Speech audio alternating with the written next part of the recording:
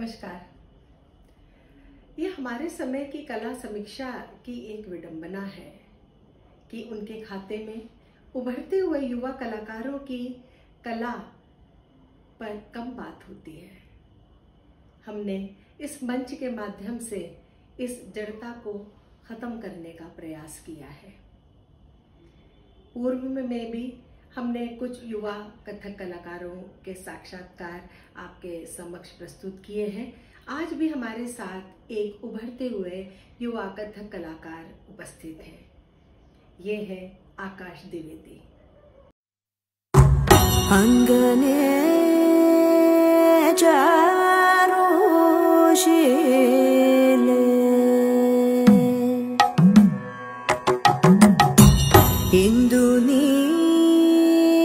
J.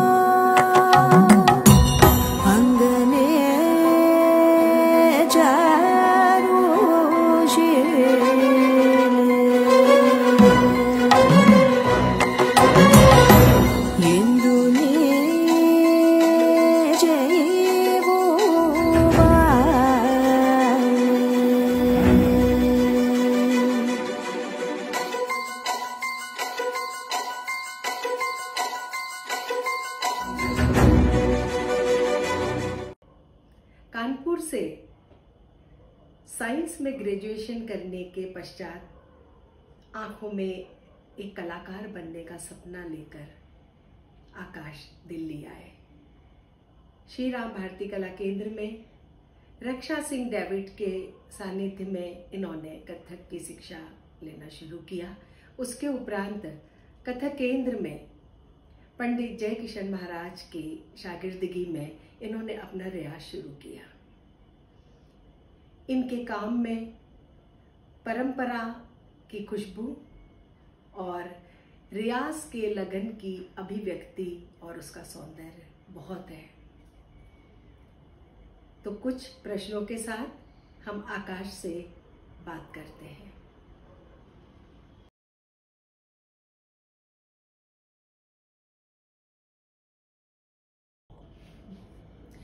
आकाश आज सबसे पहले तो हम आपसे ये जानना चाहेंगे कि आपने ग्रेजुएशन साइंस से किया, कथक को चुना। आपके जो गुरु हैं रक्षा सिंह डेविड जी और जय किशन महाराज जी तो इन लोगों के गुरुओं की अपनी ऐसी कौन सी शिक्षण पद्धति है और उस शिक्षण पद्धति को आपने किस तरीके से अपनाया और कथक के प्रति आपका रुझान बढ़ता गया? प्रथम प्रश्न का जो उत्तर है कि मेरी जो शिक्षण पद्धति शुरू हुई वो जो दिल्ली का प्रतिष्ठित संस्थान है भारतीय कला केंद्र, वहाँ से मैंने अपनी शिक्षण पद्धति को शुरू किया। वहाँ पे मेरी गुरु थी और गुरु रक्षा सिंह डेविड जी। और जब मैंने कथक सीखना शुरू किया था, उस समय मैं ग्रेजुएशन में था, ये लगभग 2010 की बात है।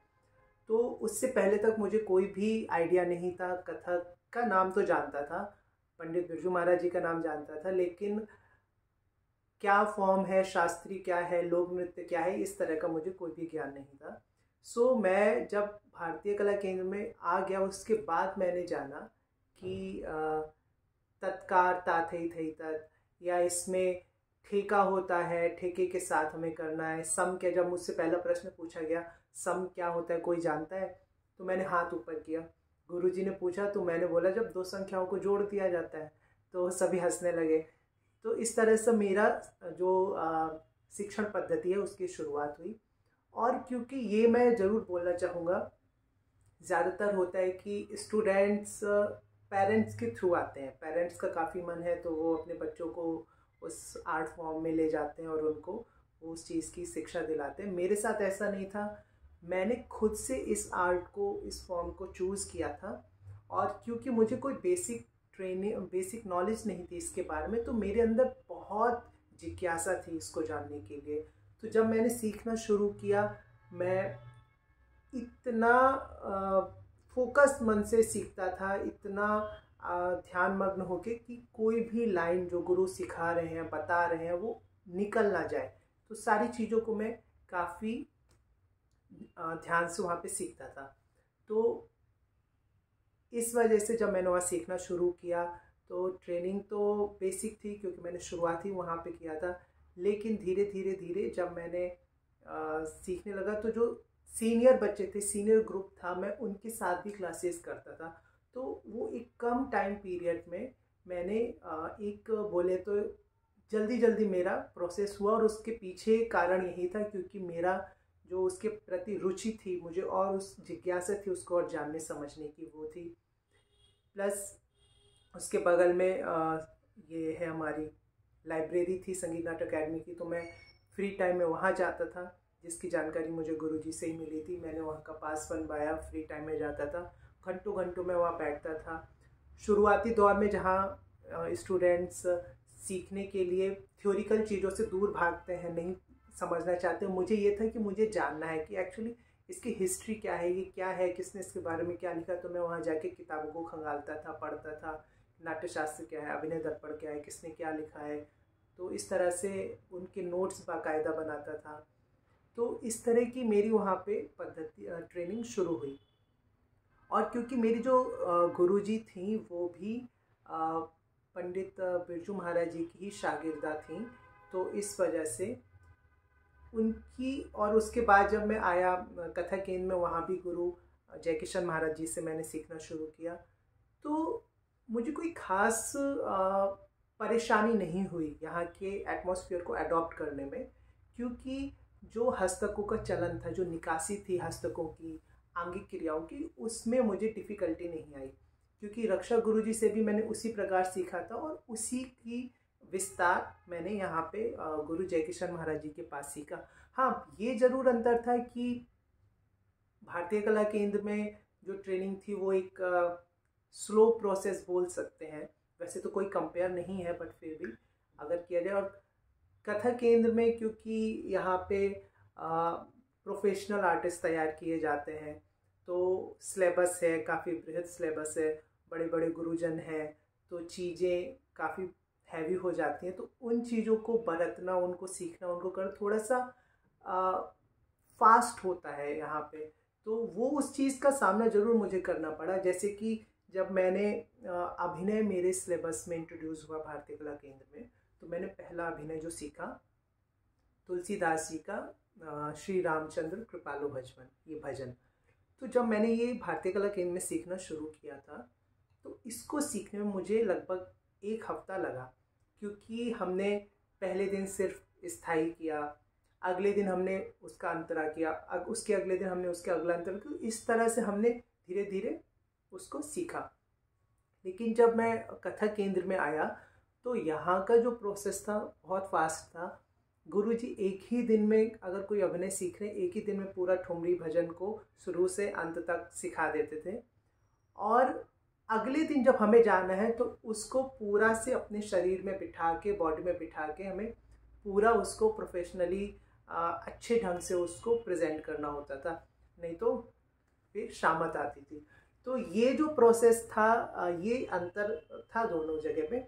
बट जो आंगिक क्रियाओं का चलन था, जो मूव हस्तकों का चलन था, उसमें मुझे कोई ज़्यादा डिफ़िकल्टी नहीं आई। और बल्कि ये देखा गया है कि एक गुरु के शागिर्द का भी जो करने का ढंग होता है नृत्य को बरतने का उसमें काफ़ी हद तक डिफरेंस होता है अलग अलग लेकिन आ, मुझे उस तरह की चीज़ों का सामना नहीं करना पड़ा। तो इस तरह की पद्धति रही है और हाँ ये ज़रूर कहना चाहूँगा कथा केंद्र की जो ट्रेनिंग रही है बहुत फास्ट फॉरवर्डिंग थी कंपटीशन थे आपस में और सिलेबस काफ़ी बड़ा है तो वहाँ पे सीखने के लिए बहुत जुनून, बहुत जज्बा चाहिए होता है।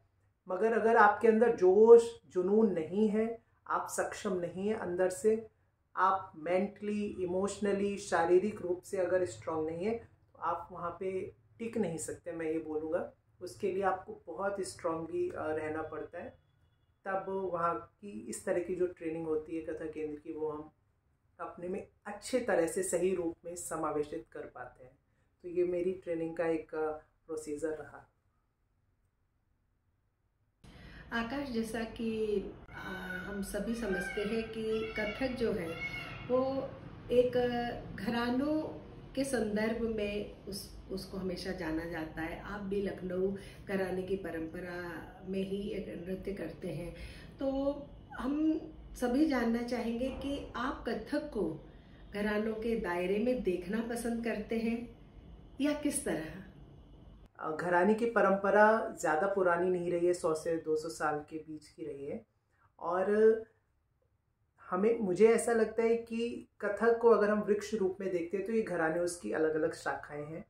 और हर जिस, हर शाखा पे अलग अलग तरह के फूल खिले हुए हैं, उसकी अलग अलग खुशबू है। तो उसी प्रकार से ये जो चार घराने हैं हमारे कथक के, मुझे लगता है ये एक विशिष्ट शैलियाँ हैं। कथक की का, जिस प्रकार इसको हम इस तरह से देख सकते हैं कि सपोज़ चावल है, अगर हम उसको उबाल के खाते हैं तो वो भात का रूप ले लेता है। उसी में हम दाल डाल के बना के खाते हैं तो वो खिचड़ी का रूप ले लेता है। उसी चावल को पीस के जब हम स्टीम करके खाते हैं तो वो इडली का रूप ले लेता है। लेकिन मूल उसका चावल ही है, व्यंजन अलग अलग बन के आ रहे हैं। तो वैसे ही मूल जो है, वो तो कथक ही है हर घराने का। लेकिन उस कथक को प्रेजेंट कर, दिखाने का, प्रस्तुतिकरण उसका जो है, वो उसमें अलग अलग विशिष्टताएँ बन जाती हैं। तो इस तरह से मुझे लगता है कि घरानावाद है। और इस घराने को अगर लेकर हम चलते हैं तो मुझे नहीं लगता कि इसमें किसी भी प्रकार की कोई खामी है, खराबी है। क्योंकि अगर हर कोई ऐसा सोचेगा, हर आर्टिस्ट कि कथक को घराने बात से इतर होके सोचना है, घराने से अलग होके सोचना है तो पर्टिकुलर हर घराने की जो खुशबू है, जो विशिष्टता है, वो तो समाप्त हो जाएगी। तो इसलिए मुझे ऐसा लगता है मैं कथक को घराने से अलग नहीं देखता हूँ और इसमें कोई खराबी भी नहीं है अगर आप घराने को आ, सोच के चलते हैं मुझे तो ऐसा नहीं लगता। हाँ ये ज़रूर है कि जो एक थॉट ऐसा बन जाता है जो कि मैंने खुद अनुभव किया है कि हम सिर्फ़ अपने घराने को महत्व देते हैं उसको अच्छा मानते हैं और दूसरे घराने को हम नीचे दर्जे का मान लेते हैं। इस तरह की थॉट लेके नहीं चलना चाहिए। अगर ये थॉट है तो ऑफकोर्स वो ख़तरनाक है। हमें एक पॉजिटिव एक सकारात्मक नज़रिए को लेकर बढ़ना चाहिए और जिस घराने को भी हम देखें, सोचें, जिसकी सब में अपनी अपनी खूबसूरती, अपनी अपनी खूबियाँ हैं सारे घरानों में और आज के टाइम में अगर प्रेजेंट समय में देखा जाए तो दिल्ली एक ऐसा क्षेत्र है जिसको कथक का गढ़ माना जाता है और सभी डांस फॉर्म के सभी घरानों के जो बड़े बड़े गुरुजन हैं, विद्वान हैं, वो सभी यहाँ पे उपस्थित हैं और वो शिक्षण पद्धति को चला रहे हैं। तो उसी तरह से आर्टिस्ट भी तैयार हो रहे हैं, सीख रहे हैं। तो आदान प्रदान तो बहुत हो रहा है, जिस वजह से सामने बहुत सारा मिक्स मैच भी नज़र आता है। लेकिन मुझे ये लगता है कि मैं जो सोचता हूँ अपने लिए, मैंने अपने गुरु से जिस प्रकार, जिस घराने के अंतर्गत सीखा है, उस चीज़ को रखते हुए, उस दायरे को समझते हुए बाकी जिस घराने से जो भी चीज़ें मुझे अच्छी लगती हैं, मैं उनको अडॉप्ट करता हूँ। और मैं यही कहता हूँ कि मुझे यही लगता है कि कथक को घरानों से इतर सोचने का कोई मतलब नहीं है। आप अगर सकारात्मक नज़रिए से इस चीज़ को लेके चल रहे हैं तो इसमें कोई खामी नहीं है। नहीं तो फिर इस प्रकार तो घराने की जो अपनी खुशबू है, वो नष्ट हो जाएगी। आकाश एक इंपॉर्टेंट प्रश्न है जो हम आ, सभी कलाकारों के लिए बहुत महत्व रखता है रियाज साधना और लगन। अब जैसे आप कथक केंद्र में रहे जैसा आपने बताया कि कथक केंद्र का अपना जो एक रियाज का तरीका भारतीय कला केंद्र में अपनी एक रियाज का तरीका लेकिन अब आप एक इंडिपेंडेंट तरीके से स्वतंत्र तरीके से अपने रियाज को करते होंगे। इस साधना में रहते हैं तो वो किस तरीके से आप रियाज करना पसंद करते हैं? कथक आर्टिस्ट जो है उसके लिए रियाज बहुत ही इम्पोर्टेंट फैक्टर होता है। ये इस प्रकार है जैसे एक आ, सभी आम इंसानों के लिए सांस है। हम बिना सांस के जीवित नहीं रह सकते। वैसे ही मुझे लगता है कि अगर आप कोई भी आर्ट फॉर्म के अगर आप साधक हैं उसको अपना रहे हैं कर रहे हैं तो बिना रियाज के तो कुछ संभव ही नहीं है, ये सभी लोग जानते हैं। और रियाज को जैसे कि हम लोग दो चीज़ों में देखते हैं, शारीरिक और मानसिक। तो शारीरिक रूप से तो रियाज होना ही चाहिए, क्योंकि अगर हम लोग प्रेजेंट करते हैं, माध्यम शरीर ही है तो शरीर जब तक सशक्त नहीं होगा, वो उस चीज़ को करने के लिए सहज महसूस नहीं करेगा तो प्रेजेंटेशन आप भली भांति नहीं कर पाते हैं। तो शारीरिक रियाज तो बहुत इम्पोर्टेंट लेकिन कई बार कुछ ऐसी परिस्थितियाँ बन जाती हैं। आप बाहर हैं बीमार हैं कुछ इस तरह की परिस्थितियाँ हैं कि हम शारीरिक रूप से रियाज करने में सक्षम नहीं होते हैं। मानसिक रियाज के आ, मामले में मैं यही बोलना चाहूँगा कि मानसिक रियाज के लिए हमें सोचना नहीं पड़ता है। ये तो मानसिक रियाज तो ऐसी चीज़ है जो स्वतः ही एक आर्टिस्ट के लिए स्वतः ही होती है। सांस जो हमने एक सांस का एग्ज़ाम्पल लिया है। तो उसी प्रकार से इसके लिए अगर सोच के हम करें रियाज तो मुझे नहीं लगता कि फिर आर्टिस्ट वो है। तो कई बार ऐसा होता है कि हम सुबह उठे, उठते ही उठते हमारा थॉट डांस के साथ होता है। हम सोने जाते हैं तो हमारा डांस के साथ होता है। हम मेट्रो में जा रहे हैं तो हम उसी में डूबे होते हैं टोड़ा टुकड़ा बना रहे हैं। ये ज़रूरी नहीं है कि हम उसी तरीके से तोड़े टुकड़े को सोच रहे हैं। हम कुछ डांस से रिलेटेड ही कुछ और मनन चिंतन हमारे मन में चल रहा है उसी में देखते हैं कि हमें याद भी नहीं रहता कौन सा मेट्रो स्टेशन आया और हम आगे भी निकल जाते हैं। और इस चीज़ से सभी जो कथक कलाकार हैं वो इससे सहमत होंगे, उन सभी के साथ इस तरह की परिस्थितियाँ बनती होंगी। एक एग्ज़ाम्पल मैं देना चाहूँगा, बीच में मेरी आदत हो गई थी कि जब भी मैं सोता था तो सोते समय मेरे दिमाग में कथक की चीज़ें चलती थी, उसका जो नृत्य पक्ष है। और उसकी ताल को देने के लिए मैं अपने पैर के अंगूठे से इस प्रकार ताल देता था। और उस चीज़ को जब मम्मी ने नोटिस किया तो उन्होंने मुझे बोला कि, अरे, तुम्हें, ये क्या, कोई बीमारी हो गई है डॉक्टर को दिखाना पड़ेगा, ये क्या चीज़ है? तो इस तरह की चीज़ें हर आर्टिस्ट के साथ होती हैं। वो सभी, मानसिक रूप से उस चीज़ में लिप्त रहते ही हैं, वो सोचते ही हैं, मनन चिंतन। क्योंकि अगर आपके नृत्य में मनन चिंतन नहीं है तो तो बिना रूह के जैसे शरीर, मृत तो ऐसा डांस होगा वो तो फिर। तो इस वजह से शारीरिक मानसिक रियाज दोनों ही इम्पोर्टेंट हैं और सभी आर्टिस्ट करते भी होंगे और आप अगर कलाकार बनना भी चाहते हैं तो भी इस चीज़ को आप आपके लिए बहुत इंपॉर्टेंट चीज़ है। रही बात मैं खुद अकेले में किस प्रकार इस चीज़ का निर्वहन करता हूँ तो इसके लिए मैं यही कहना चाहूँगा कि कई बार मेरे गुरु जी ने भी बहुत से ऐसे सूत्र मुझे दिए हैं रियाज के लिए, जिन चीज़ों को मैं अपने रियाज में शामिल रखता हूँ। उसके अलावा जो बेसिक चीज़ें हैं, जिसमें हमारी तत्कार है, पलटे हैं मूवमेंट्स हैं चक्कर हैं मूवमेंट्स को भी स्लो में, है ना, इगुन में, फिर चौगुन में अठगुन में, इस प्रकार के जो प्रोसीजर है, इनको तो हम कंटिन्यू रखते ही हैं, इन चीज़ों को तो करते ही हैं। और इसके अलावा कई बार ऐसा होता है, मैं बहुत से आर्टिस्ट को देखता हूँ तो उनकी कुछ चीज़ मुझे पसंद आई, अच्छी लगी तो मैं उसको भी अपने रियाज में अडॉप्ट कर लेता हूँ, उसको भी शामिल कर लेता हूँ। और रियाज का मतलब सिर्फ़ नृत्य पक्ष नहीं है कि हमने तोड़े टुकड़े लगा लिए, हमने तत्कार कर लिया चक्कर कर लिए। दो पल्ले हैं जिस पर एक नृत्य एंड अभिनय। तो मैं पूरा पूरा ज़ोर अभिनय पे भी देता हूँ, जितना नृत्य पे देता हूँ। और मैं उसको भी अपने रियाज में शामिल करने की कोशिश करता हूँ उसके बारे में भी मनन चिंतन करता हूँ। और इस प्रकार आ, मैं अभी तक अपनी सोच से जितना समझ पाया हूँ इस रियाज की पद्धति को उसको मैं करने की कोशिश करता हूँ। आकाश आप एक हम्म, जैसा मुझे आपके बारे में पता है कि आप पेंटिंग भी करते हैं स्वाभाविक तौर पे रंगों का संयोजन आपके भीतर एक कला मन में है। अपना आप जो कॉस्ट्यूम पहनते हैं, वेशभूषा पहनते हैं, अपने कथक की प्रस्तुति में, वो भी बहुत डिफरेंट है।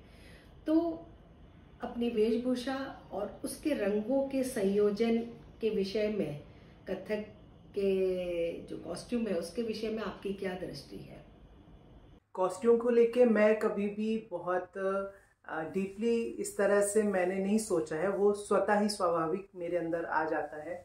मैं जब स्टूडेंट भी था, अब अभी भी स्टूडेंट हूँ, लेकिन जब मैं उस प्रक्रिया से गुजर रहा था, कथक केंद्र में था, सीख रहा था, भारतीय कला केंद्र तो भी मैं जब भी कुर्ता बनवाना है, मुझे अपने क्लास के लिए एग्ज़ाम के लिए कोई ड्रेस बनवानी तो मैं विचार मनन करता था, इसको क्या इसमें नया रूप डाला जा सकता है? कैसे इसको, जैसे मैं एक एग्जांपल दूँगा, उस समय कुर्ते पहनते थे तो जैसा आप देख रहे हैं, बीच में बटन होते थे सारे। तो मैंने फिर आइडिया लिया, जो कि बंगाल का एक तरीका होता है, जो साइड में बांधते हैं कुर्ते को। तो मैंने वहाँ से आइडिया लेके अपनी इसी चीज़ को टेलर को बोल के मैंने साइड में बटन्स को करा दिया था। तो इस तरह से वो विचार स्वाभाविक रूप से मेरे मन में आ रहे थे। लेकिन हाँ रंगों को लेके मैं ये ज़रूर कहना चाहूँगा, मेरा बचपन से ही मैं पेंटिंग के साथ जुड़ा हुआ था और रंगों को साथ खेलता था और मुझे बागवानी बहुत पसंद है अलग अलग तरह के रंगों के फूलों को उगाना, उनको मैं घंटों उनके साथ बिता सकता हूँ रिफ्रेशिंग फील करता हूँ उनके साथ में। तो उन्हीं चीज़ों का कुछ ना कुछ अंश है जो मेरे कॉस्ट्यूम में भी परिलक्षित होता है। मुझे लगता है कभी भी आप घोड़े की तरह लगा के नहीं चल सकते हैं। हमारे जीवन में जितने भी घटक हो रहे होते हैं, जो भी चीज़ें घट रही हैं, हम जो भी जिस तरह की चीज़ें विचार कर रहे हैं, उन सभी का कहीं ना कहीं इंटरकनेक्शन होता है। और उन्हीं चीज़ों का अंश आपकी कला पे भी पड़ता है। इसके विषय में मैं बोलना चाहूँगा, कई बार ये बोला जाता है कि प्रोफेशनल लाइफ अलग होती है एंड पर्सनल लाइफ अलग होती है। मैं इस चीज़ से बिल्कुल भी सहमत नहीं हूँ। मुझे ये लगता है कि आप जैसे इंसान होंगे, आपकी जैसी सोच होगी, वो आपकी कला पे प्रभाव डालेगी, ही डालेगी। तो आप क्या सोचते हैं? आप क्या विचार करते हैं? बहुत महीन चीज़ है, बट इस पर भी ध्यान रखने की बहुत विशेष कोशिश रहनी चाहिए। और वही चीज़ आपकी कला पे भी इफ़ेक्ट डालती है। तो मुझे ये, मैं कथक का जो एक प्राचीनतम स्वरूप है, जो उसका वैदिक कालीन स्वरूप है उससे बहुत ज़्यादा आकर्षित हूँ। इसी वजह से वो धोती बांधने का जो तरीका है या अपने कथक को उसी से मैं रिलेट कर पाता हूँ, क्योंकि मुझे लगता है कला तो इस प्रकार है कि पानी की तरह, जैसे पानी का कोई आकार नहीं है, लेकिन वो जिस बर्तन में जाएगा उसका आकार ले लेता है। वैसे ही कला जिस मनुष्य के अंदर जाएगी, जिस कलाकार के अंदर जाएगी, उसकी जो सोच है, उसकी जो विचार है थॉट है, वो उसी रूप में परिलक्षित होती है। तो क्योंकि मैं उसके प्राचीनतम स्वरूप से काफ़ी अपने को कनेक्ट पाता हूँ, मैं अपने आप को उस तरह से देखता हूँ, इसीलिए वो मेरी कॉस्ट्यूम पे भी उन चीज़ों का असर दिखता है। वर्तमान समय में हम देखते हैं, जैसे कि कथक डांस फॉर्म में बहुत सारे वेरिएशंस हैं। कॉस्ट्यूम को लेके बहुत सारी भिन्न भिन्न तरह के हैं चाहे फीमेल हो मेल हो। आज के समय में मैं ये ज़रूर बोलना चाहूँगा कि मैं बहुत से आर्टिस्ट को देखता हूँ कॉस्ट्यूम्स शायद वो अपनी सोच से उसको अच्छा उनको लगता होगा बट मैं उन उन कॉस्ट्यूम के साथ अपने आप को उनकी सोच से उस कथक उस कॉस्ट्यूम की सोच से अपने आप को मैं सहमत नहीं कर पाता हूँ। क्योंकि मुझे ऐसा लगता है ये जो आ, कला है, ये हमारी शास्त्रीय, भारत भारत की शास्त्रीय कला है। ये हमारे तो इसके जो कॉस्ट्यूम भी है, मुझे लगता है उसमें भी हमारी उस मिट्टी की, हमारी भारतीयता की खुशबू जब तक नहीं दिखेगी तो मुझे नहीं लगता कि वो हम उसके साथ न्याय कर पाएँगे। सो इन्हीं सभी विचारों को लेके मैं अपने कथक को कॉस्ट्यूम को लेके चलता हूँ। कथक का साहित्य के साथ क्या संबंध है? यूँ तो जितनी भी कलाएँ हैं, उन सभी का अंतर संबंध है। चाहे वो चित्रकला हो, संगीत कला हो, या फिर शिल्प कला हो, कोई भी कलाएँ हैं तो उसी प्रकार जब साहित्य और कथक को देखा जाता है तो मुझे नहीं लगता कि साहित्य के बगैर भी कथक को हम सोच सकते हैं। क्योंकि जैसा कि कथक का प्रस्तुतिकरण है, हम देखते हैं उसमें श्लोक हम करते हैं, स्तुति, वंदना करते हैं। अभिनय पक्ष में जो भी चीज़ें, गज़ल, ठुमरी, चैती आदि आदि भजन चीज़ें होती हैं, नज्म वगैरह तो इन सब चीज़ों को भी साहित्य के साथ ही देखा जाता है, साहित्य के अंतर्गत ही देखा जाता है। चाहे पौराणिक कथाएँ हों, उसके बाद कालिदास और ये हमारे अष्टछाप कवि, रीतिकालीन, भक्तिकालीन इसके साथ साथ जो हमारे समकालीन रचनाएँ हैं समकालीन साहित्य है उसको भी हम कथक में भरपूर प्रयोग करते हैं। और इनके अलावा हमारे जो आ, कथक के गुरुजन रहे हैं उन्होंने भी कथक अपना साहित्य रचा है जिसको कथक में काफ़ी प्रोत्साहन मिला है। और आज के समय के भी जो गुरुजन हैं वो भी कुछ ना कुछ इसमें अपनी चीज़ों को ऐड करते हैं। ठुमरी है चैती है गजरी है इस तरह की चीज़ें, जिसमें कि गुरु बिंदादीन महाराज जी, सुंदर प्रसाद जी, नारायण प्रसाद जी, है ना? तो ये सारे गुरुजनों ने इस ओर काम किया है, कथक के साहित्य को बढ़ाया है और हम हमेशा से ही कथक के साथ उच्च कोटि का जो साहित्य होता है, उसका ही प्रयोग करते आए हैं। तो साहित्य और कथक का तो अंतर संबंध है, इससे हम बिल्कुल भी मुकर नहीं सकते। आपके गुरु पंडित जय किशन महाराज जी बहुत विद्वान कलाकार हैं। उनकी ऐसी कौन सी बात आपको हमेशा आकर्षित करती रही? और आपका भीतर का मन हमेशा गुदगुदाता रहा कि मैं भी वो बात अपने गुरु की, अपने जीवन में अपना सकूँ? गुरु जी का ऐसा कोई भी एस्पेक्ट नहीं है जिसने मुझे आकर्षित ना किया हो। इसके विषय में मैं कहना चाहूँगा, जब मैं पहली बार उनके पास सीखने गया था और जब उन्होंने मुझे चीज़ें सिखाई और मैंने उस चीज़ को समझा जाना तो ही उसी समय मुझे इस तरह का आभास हो गया था कि यही चीज़ तो है जिसके लिए मैं इतने टाइम से मैं समझना चाह रहा था या जानना चाह रहा था या जिसकी मुझे तलाश थी। तो गुरु जी का चाहे वो सिखाने की पद्धति हो चाहे वो डांस को जिस तरह से सोचते हैं वो आ, अपने शागिर्दों को जिस रूप में चीज़ों को देते हैं वो सारी चीज़ों ने मुझे चाहे वो म्यूज़िक कंपोजिशन करते हैं तो ये जितने भी उनके मैंने चीज़ों को देखा मैं हर चीज़ से उनके आकर्षित हूँ और मुझे लग हमेशा मैं सोचता था कि मैं भी ये चीज़ें जान पाऊँ मैं भी समझ पाऊँ। वो जब किसी भी, कोई भी बैले होता था, कोई भी परफॉर्मेंस है, उसका म्यूज़िक कंपोजिशन वो खुद ही करते हैं, जैसे कि सभी को पता है।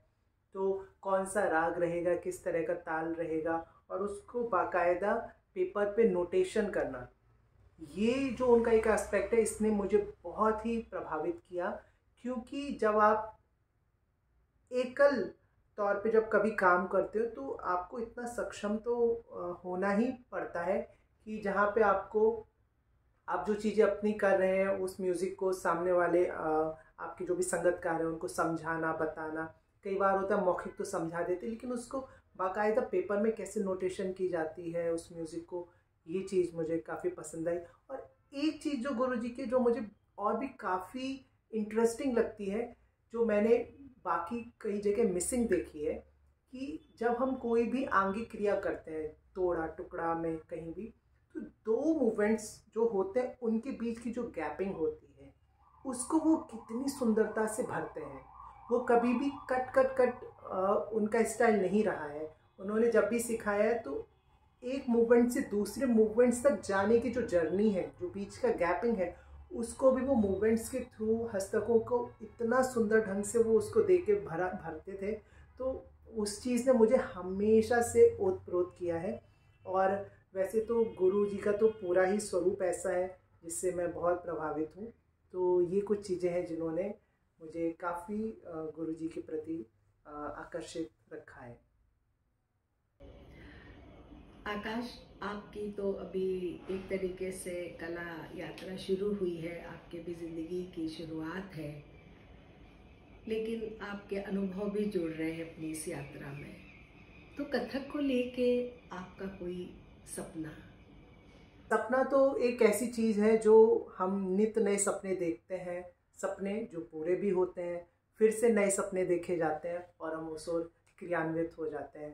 तो इसी तरह से आ, मैं अपने सपनों को देखता हूँ और हाँ एक सपना मैं ज़रूर आपके साथ साझा करना चाहूँगा जो मेरा है पर्सनली मैं सोचता हूँ उस बारे में कथक फ़ील्ड को लेके। मैं आ, पिछले काफ़ी टाइम से अलग अलग जगहों पे जाके वर्कशॉप लेक्चर डेमोन्स्ट्रेशंस स्कूल में छोटी छोटी जगहों पे किए हैं जुड़ा जुड़ा हूँ बच्चों के साथ में पेरेंट्स के साथ में और आ, या चाहे हम जब ट्यूशन्स देते हैं सिखाते हैं तो लोगों की सोच को जान पाते हैं कि वो इसको क्या सोचते हैं किस तरह से अपना रहे तो मैं उस चीज़ से थोड़ा सा आहत ज़रूर हूँ और उस चीज़ को लेके मेरा एक सपना ये है कि कथक घर घर तक ज़रूर पहुँचे। घर घर तक पहुँचने का मेरा तात्पर्य ये बिल्कुल भी नहीं है कि हर कोई इसको as a professional as a career बनाए। ये ज़रूर है, हर घर में सचिन तेंदुलकर तो नहीं है, विराट कोहली तो नहीं है, लेकिन क्रिकेट के बारे में आप भारतीय हैं और क्रिकेट के बारे में नहीं जानते, ऐसा नहीं हो सकता। हर कोई भारत में आज क्रिकेट के बारे में जानता है।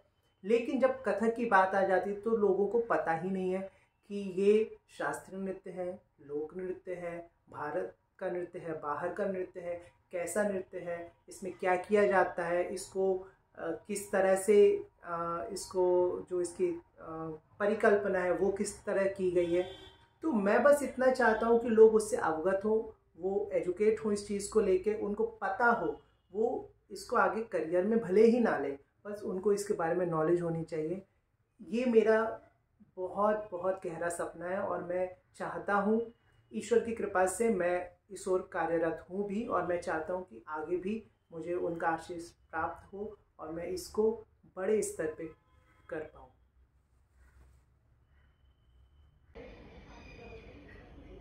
आज हमने एक उभरते युवा कलाकार से उसके कुछ अपने जीवन के अनुभव सुने और उसकी एक सोच हमारे सामने उसने बताई और हम उसके सुखद जीवन के लिए और एक कलात्मक जीवन के लिए उसको शुभकामनाएँ देते हैं।